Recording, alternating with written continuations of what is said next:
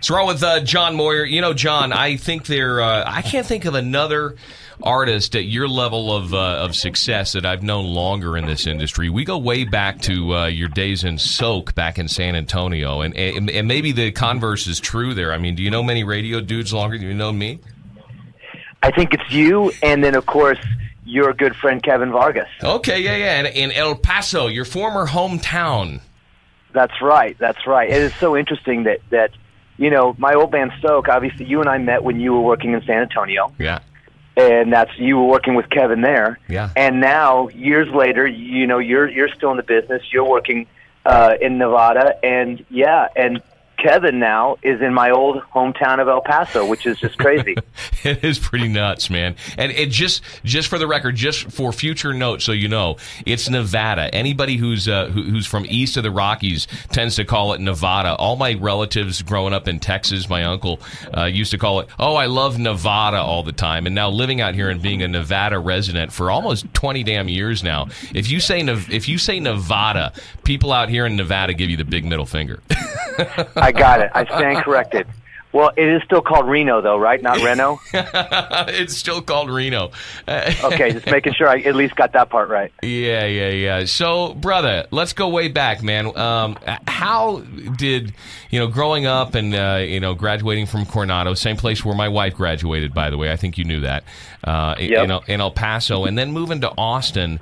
How did that kind of shape you from a musician standpoint? Because Austin, Texas, is such a musical kind of melting pot of different styles, right?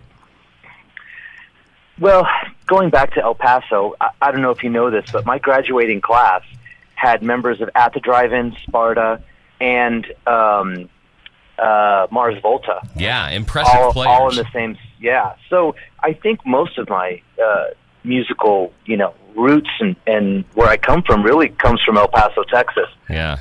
When I when I moved to Austin, uh, there was it is a melting pot. There's reggae bands here, there's country bands, there's rock bands, there's metal bands, but there's not like any kind of one scene.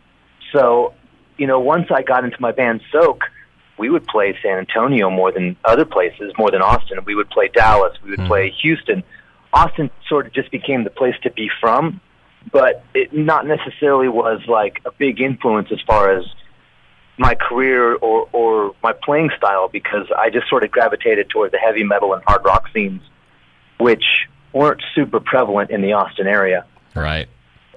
Now, moving forward, when you were in the Union Underground uh, out of San Antonio, Texas, Austin at that point in time was, and it's still, you know, it's still a hip place to say you're from, but at that point in time, with uh, South by Southwest growing leaps and bounds every single year, was there any pressure in the Union Underground to uh, to come out and say that you guys were an Austin, Texas-based band, or was the label and management and everybody else cool with saying, "Ah, we're from San Antonio"? Nope, that was never an issue you know, like like I said, Austin seems to be like the place that you're supposed to be from. Right. But you know, being honest about you know where your roots are, and Union Underground in particular, they always embraced being from San Antonio, and not just from San Antonio, but being from like the outskirts of San Antonio. Yeah. So that was never an issue. You know, um, I've been in one of those. I've been a musician who's been in bands from everywhere. Right. You know, my first band Soak was from Austin my second band, Union Underground, was from San Antonio. And then when I joined Disturbed, they're a Chicago band. Yeah. So, you know, I feel like I have a bunch of little adopted cities. yeah, all over the place. No doubt. You know, there was so much hype and so much build, and that uh, you know, and, and, Education and Rebellion was such a dynamite album with Union Underground. How traumatizing, or, or how uh, uh what was what were you thinking? In your mind when that project went south and everybody decided to call it quits in the Union Underground? Did it? Did, or were you looking at man? What am I going to do for a day job now? Well, being a musician, you know, in the industry, it can be very heartbreaking. Nothing lasts forever. Yeah. And so many bands are here today, gone later today. And even bands that are together five, six, seven years, you know, they break up and and it's like a marriage. Mm-hmm. And um, that's why you see a lot of musicians with chips on their shoulders because their band broke up and they can never seem to get back on the horse. That was never really an issue for me. You know, whenever one band broke up, I was always looking to the next horizon, looking to what can I do next. Right. Because I accept the fact that that happens. Um, but yeah, sometimes you know it can really affect musicians when their band breaks up, and they, they have a hard, hard time getting over it. Uh, for me, you know, getting a day job or, or doing whatever I had to do to make ends meet was just part of the deal until I could get back on stage again, until I can get back on tour again. Yeah. And you know, fortunately, it, it wasn't long after Union Underground that I ended up getting the Disturbed gig. I believe Union Underground's last gig was October of 2003, and I ended up joining Disturbed in April of 2004. Did that feel like winning the lottery when they called you to tell you that you got the place? Pretty much, man. Uh, at that time, Disturbed was already two records deep. They Yeah. had finished uh, the first album, The Sickness, the second album, Believe. Um, and after Fuzz's departure, you know, they were looking for a new bassist, but they had already established themselves as a monster band on Yeah. the scene. hmm And so, you know, joining them was just, it was already like joining a juggernaut, only two records in. And then my first record with them was 10,000 Fists. And, you know, I just played on records with them since then. Yeah, I mean, uh, uh, yeah, just a, a great situation to jump into, and you know, you're really playing with consummate pros. I mean, all, all the guys in Disturbed have been had had been doing other stuff and other projects, and you know, they, they were they were seasoned vets. You know, unlike some of the uh, you know maybe some of the other startups as a as a young musician you had, probably been working with. You know, speaking of playing with different musicians, dude, you played with Mike Portnoy in Adrenaline Mob. How nuts was that playing with a drummer that is that intense Mike Portnoy? Was that a great experience for you, or was it a difficult one, a challenging one?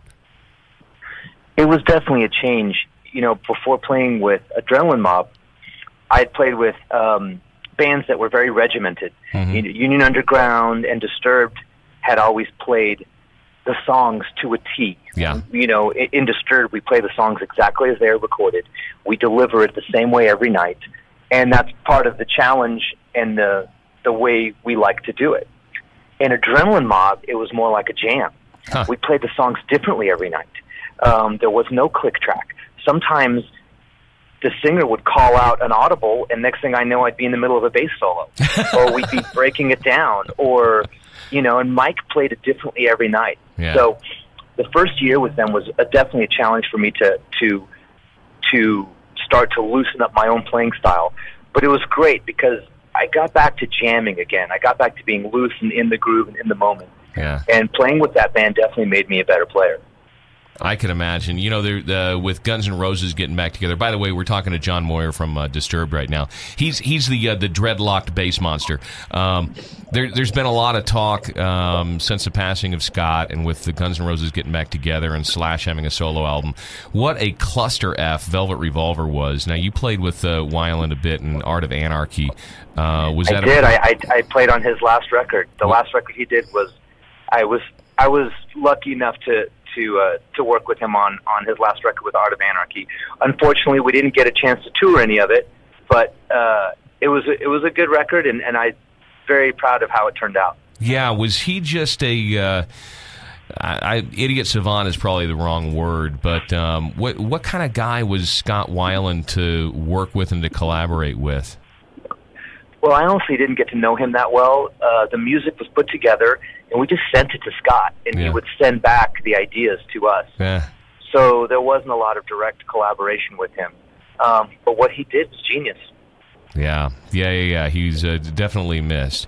Um, and then uh, filling in for Rudy Sarzo, who arguably is is one, one one of the, the best rock bassists on the planet. Uh, working with Geoff Tate, who was just here a couple of weeks ago with uh, his Operation Mindcrime group. How cool was that working with a guy with that kind of a vocal range? Yeah, that was a very interesting experience. Um, I had met Rudy Sarzo at a thing called Rock and Roll Fantasy Camp in Vegas, Yeah. and uh, Rudy and I became friends. And then when he needed a fill-in, he called me to do it. I, you know, was just blown away. Actually, actually, here's how it really worked. He gave Geoff my number, but didn't tell me. So I ended up getting a call from Geoff Tate directly, and a voicemail that said, "Hi, John. This is uh, Geoff Tate from Queensryche. Just kind of wanted to know if you were going to be available in May to do some shows." I was like, "What?" so uh, I filled in for some shows with Geoff, and then eventually, the you know, uh, the Queensryche you know name went to the other four guys, and Geoff ended up taking on the moniker of his new band, Operation Mindcrime.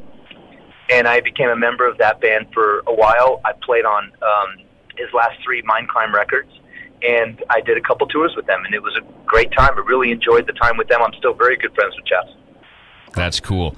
Let's uh, all right. So let's move on to uh, to Disturb. The Sound of Silence, uh, arguably the biggest song in the in the career of Disturb so far. Um, was was that when you guys decided to do a Simon and Garfunkel song? Um, was that something that uh, you had a little trepidation with going into, and did it did it do what you guys had expected it to do, or was it kind of like ah, here's just a little treat for the fans? Well, Disturbs had a lot of of great success with covers, and you know I don't know if you recall the very first record, The Sickness, we had our cover of Shout. Yep uh, which people loved. And then later on, um, when I was when I joined the band on Ten Thousand Fists, uh, we did a cover of Land of Confusion, which was another very successful song for us. So you know, we kind of had a method. We we would take like these songs that that you would not consider to be rock songs or metal songs, and we would turn them into you know these these disturbed esque tunes. You know, with with the classic disturbed groove and you know with David doing his thing over it. The process on Sound of Silence was completely the opposite. Um, you know, Mike Wengren, the drummer, was the one who wanted to started the conversation about doing a Simon and Garfunkel song. Yeah. And as they, as you know, as uh, the band went through the catalog, you know, Sound of Silence kind of rose to the top. And of course, the initial idea was to put it through, you know, the Disturbed. You know, let's metal it up, let's rock it out. And Dan said, no, let's not. Let's go in the opposite direction. Huh. And it's kind of like, well, how do you? It's already kind of an acoustic thing. What are we going to do with it? And it was uncharted territory for everybody. Um, and everyone just jumped into it and developed it. And you know, with the help of, of producer Kevin Churko, you know, the band created something truly amazing with that song. And you know, it's even more amazing to think that, you know, arguably probably the biggest hit before that for the band was Down with the Sickness, as you know that's regarded as one of the you know biggest heavy metal songs of all time. And then you're talking about a band, you know, six records later, putting out what you just mentioned yourself, probably their biggest hit to date. Yeah, that's that's a big feat for for any band to do. Mm-hmm. And you know, and go, you know, Disturbed's never been afraid to take chances, and that has that has done well for them over the years. You know, just when you think you got them figured out, they change gears. They move in a different direction.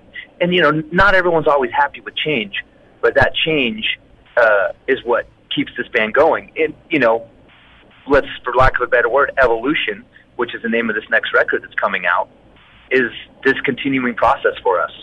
We're embracing this change that Sound of Silence sort of uh, gave to us, and we're moving forward with it and you're going to hear a lot of those textures on this new record. Okay. The album is called Evolution, available October the 19th. Uh, Are You Ready? The first single we've been jamming here is our featured rock of the week for the last week. Um, congratulations oh, thank you very on, much. on that. Um, and you guys did something unique with regard to making this the first single. You kind of left it up to the fans. Tell me about that. Well, you know, it was just one of those things where we there's two sides to the record. You know, there's there's there's songs like "Are You Ready," which are you know the the the disturbed songs that our fans love to hear. You know, they, they want to hear those crushing guitars, those bombastic drums. They want to hear David, you know, just jamming away with his with his very unique attack on the vocals. And then there's this other side of the record, which people are now falling in love with this new voice of David that you hear on Sound of Silence, and fans want to hear that voice too. Yeah. So for us, it was like, well, which step forward do we do we take? And the idea was, let's just leave it up to the fans and, and see what they want. And we pretty much felt that they were going to go for the heavy thing at first. Of you know, course, especially yeah. our core fan base is going to want that, and you know that's the way it went down. But you'll see the follow-up singles, and as this record progresses and as this record comes out, there's going to be a lot of surprises and a lot of changes. And I think um, I think it's going to be for a lot of, you know, we definitely have a lot of this record that's going to give the fans what they've expected to hear from us over the years. But you know, unlike some bands who tend to just stick to their, you know, stick to their sound, we're progressing, we're evolving, we're we're pushing boundaries for ourselves as musicians. But you know, I think our fan base is going to appreciate that, and they're going to embrace it. What is the uh, treat on this record? Do you guys have a cover song on uh, on Evolution? No, you know, um, that's always a question every record. You know, do we do a cover? Do we not do a cover? With the success of Sound of Silence, um, I think we felt that doing another cover just would feel like we're reaching. Yeah, you know, you don't want to be typecast. Yeah, yeah, and it was like we don't need to do that now. You know, let's let this record be all original. You know, granted, Sound of Silence was a wonderful song for us. It was a hit, but at the end of the day, it's not our song. You know, it was written by someone else initially. So, for us, as we, you know, once again, I use the term evolution. As we evolve, we wanted to make sure that that, that evolution came from within. Right. And so there are no cover songs on this record. Very cool. I know there's a show in Austin, Texas on October the 13th. I'm uh, I'm assuming this is kind of a warm up show, or is this going to be uh, the the full kind of tour experience of what you guys are going to be taking out on the road with uh, I don't know pyrotechnics? I'm sure you got a, a a whole new evolved stage setup and everything else. What can somebody expect if they want to take a long road trip? That who knows? Maybe I will come down for the uh, Saturday night, October the 13th show in Austin. Oh, I'd love to see you. Um, you know, it's not a disturb show without pyrotechnics, brother. of course. so, of course, that's going to be involved. You know, we did three shows this summer, and and um, we what we did was we basically took what was happening previously with our last tour, and you know, just kind of ran off of that. Um, so it's going to be a lot of what we did the last tour, but with some of the new material. I don't think our new stage show is going to be in full effect until um, 2019, the beginning of 2019. Okay. We're going to need we're going to need a few months to put it all together. Um, because of the scope of the new record, there's a lot of changes that we now have to do within how the show flows, how we want to showcase it, how we want to expand on Sound of Silence. So our goal now is to lift our live show to a level that we've never done, an unprecedented level for us. Mhm.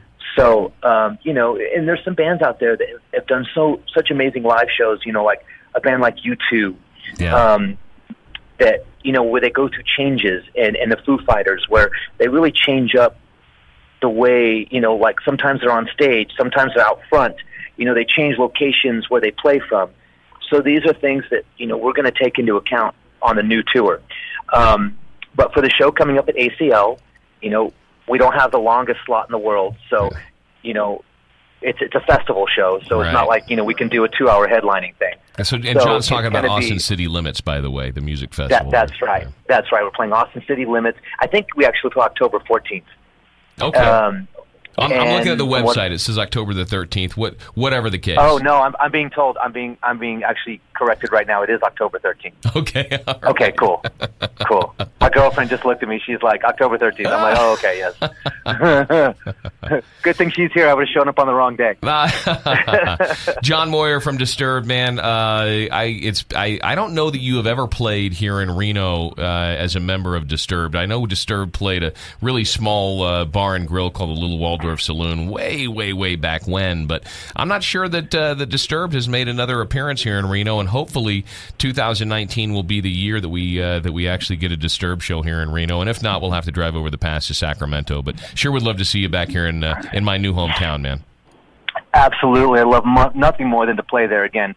You know, this this next tour, um, we, we're going to do a concentrated effort to you know hit as a as a touring entity. When you do the festivals, you're kind of stuck playing wherever the festivals are located. Yeah. This next album cycle, you're going to see us come to more cities uh, than we have in the past. We're not just playing the big markets. We're going to try to hit every nook and cranny we can. Okay. And not not that Reno's a nook and cranny, by the way. right? No, I hear you, man. I hear you. I, it's it's difficult. I try to explain it to folks who say, "How come they never play? They play in Sacramento?" And I say, "Well, it's the economics of it. You know, uh, it's uh, these shows are awfully expensive to produce and put on, and uh, if you have a market that has you know five times as many people in it, you're kind of hedging your bet there on uh, trying to sell ten thousand seats and make it a profitable venture. So, dude, you know, it's the same thing here in Texas. You know, yeah. San Antonio has such a powerful metal scene, and it's only you know an hour and a half away from Austin. That to play Austin to one third, you know, the draw when we could just play an hour and a half down the road, and people from Austin will make the trip. Yeah. You know, sometimes it's like, well, geez, it's just so much easier to play Austin or right. San Antonio. Right. Well, brother, I love you, man, and I appreciate uh, you always uh, being there. You're, you've always been very, very hospitable, uh, John, and, and we go way back, man. So, again, I appreciate the call today, dude. Congratulations on everything. Thank you, too. Love you, too, Jay. Thanks for having me on today. And, and once again, you know, new record comes out October 19th. Yep. Evolution. Thank you guys so much for playing the single. Are you ready? And, uh, you know, we will all continue to go upward and through the fog. All right. We'll see you on the road, brother. All right. Thank you.